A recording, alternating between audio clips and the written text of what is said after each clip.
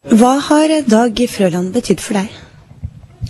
Det, det er todelt med Dag, for jeg kjente han eh, privat, og, og der har han betydd enormt mye eh, personlig.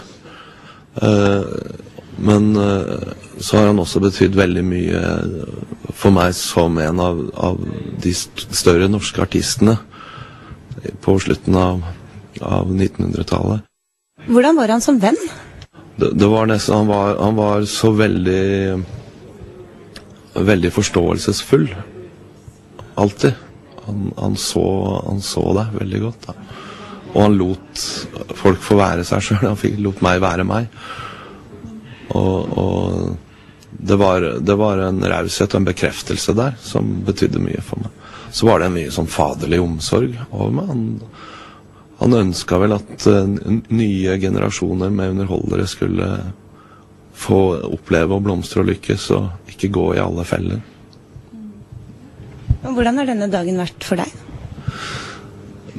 Den har vært uh, litt spesiell, for uh, Dag lærte meg veldig mye om at the show must go on. og man, Det er en av byrdene artister har. Vi har ikke råd til å utebli. og, og det å skulle kjøre en normal dag med forestillinger og alt som er planlagt, og samtidig fikk vite at Dag var, var død, det var, var litt spesielt, for da husker jeg med en gang hva Dag ville sagt. da, at du har med å gjøre jobben din først, så får du tenke etterpå. Hans Erik Husby han står akkurat nå på scenen på Det Norske Teatret som Jesus. Han uh, gjør jobben sin. Ja. Nei, men dette, dette her er jo skjebnen til ethvert teatermenneske. Det er at du har ikke lov til å skuffe de 500-700 menneskene som sitter i salen. Du må bare renvaske deg og gå inn og gjøre det. Og så kan du gå hjem og knekke sammen etterpå. Og jeg er sikker på at mens han holder på på scenen nå, så er det et sånt enormt arbeid inni han som på en måte herder ham for kanskje å komme hjem og begynne å strigråte. For jeg vet eh, Dag fortalte begeistret om sine treff med eh, ham og sa at dette er en spennende fyr, dette er en gøyal fyr. Dette, han skulle du treffe. Det er en interessant konstellasjon. Det er det, men det er ikke overraskende. i det hele tatt. Jeg synes ikke det. Han var opptatt av å møte folk som ikke ligna på seg sjøl hele tiden. Men kanskje de ligna litt, egentlig. Men han var jo, han var jo genuint, altså det gjorde han jo i alle de siste årene. Han var opptatt av eh, fattighuset, han var opptatt av eh, de som var på planka, han var opptatt av folk som slet med stoff. Han var opptatt av enslige mødre som kanskje sleit litt, og minstepensjonister. Og var det et eller annet han kunne gjøre for noen av dem, eh, så, så var det bare Jeg, jeg traff Erling Borgen på vei inn her.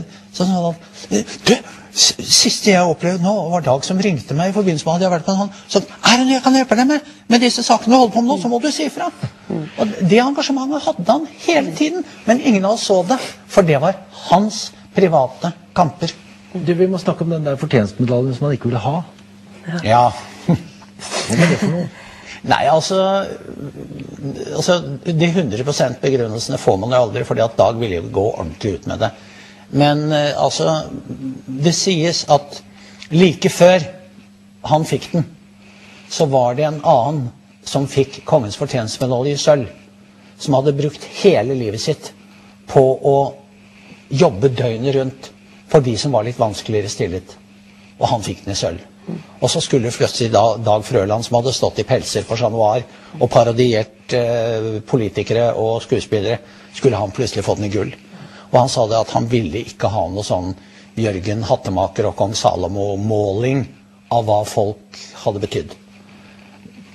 Sier i hvert fall historien at sånn var det. Og det overrasker meg ikke hvis den historien er 100% sann, fordi sånn var Dag. Han hatet alt sånt eh, At det var eh, forskjell på folk. Det er altså 20 år siden han, han la opp. eh, Og hvordan tror du altså de som er unge nå, eller mye yngre enn oss, da, eh, kommer til å huske Eller får de noe forhold til Dag Frøl? Jeg tror de gjør det, fordi de var såpass spesielle, de showene, at de kommer til å sette spor, og man, kommer, man har lagt merke til de historiene. ikke sant? Man, har, man glemmer det ikke, og så er det ikke bare det at det ut, liksom, Hvis man tenker på et Dag Frøland-show, så kan man plutselig se for seg mye pels og fjær. Men eh, det var jo også mye type standup i det. Altså det, var, eh, det, det begynte å bygges noe der som det ble tatt vare på, og som er brakt videre. Og jeg tror alle skjønner at han var en stor artist og en stor entertainer og et stort menneske. Og de skal vi ta med oss videre inn det vi jobber med. Han var vel på sett og vis en av de første standup-artistene? Ja, så Dag trengte jo ikke eh, kjole og hvitt eller pelser. Eh, de siste årene så har han reist rundt og, og hatt en liten stol, riktignok, men eh, hvor han har sittet og fortalt om eh, anekdoter og teaterliv. og han har selvfølgelig blandet inn da massevis av rare personlige betraktninger og sånn.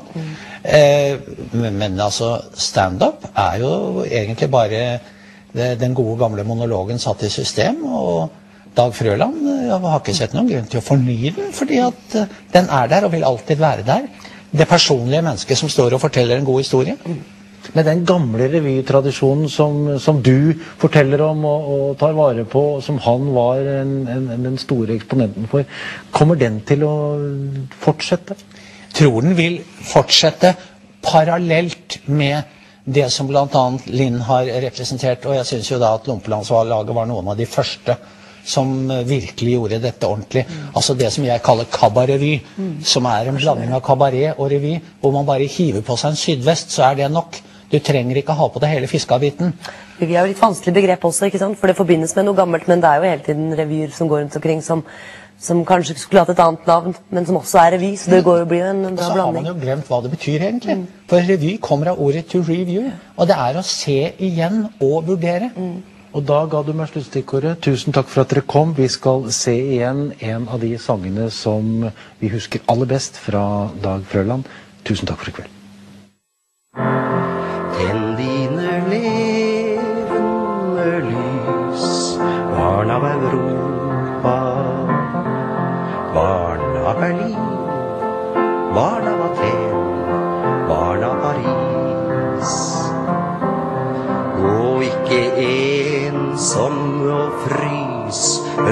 i Europa.